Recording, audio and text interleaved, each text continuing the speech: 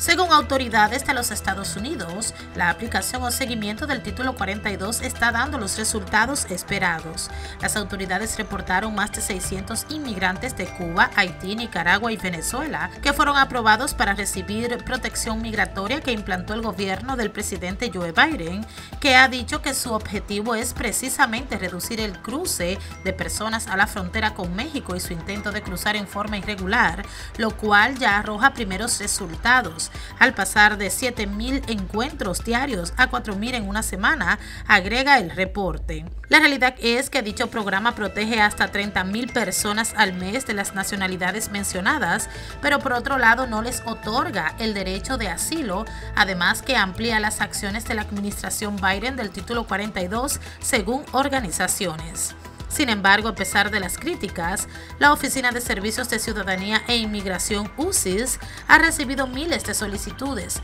con pruebas de un patrocinador en Estados Unidos que los recibirá y antes pasar los exámenes de seguridad. Vanessa Vázquez, América al Día.